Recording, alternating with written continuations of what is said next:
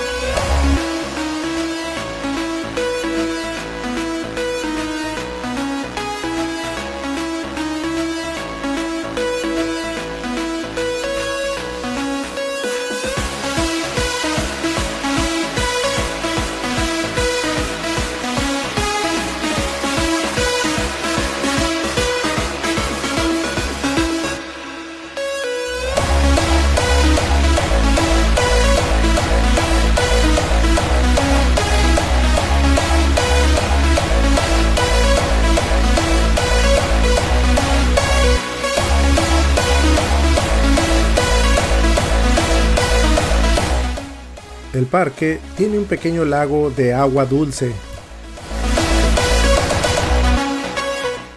De 1906 a 1913, Oak Cliff fue el hogar de un parque de diversiones que, según sus fundadores, superó a Coney Island.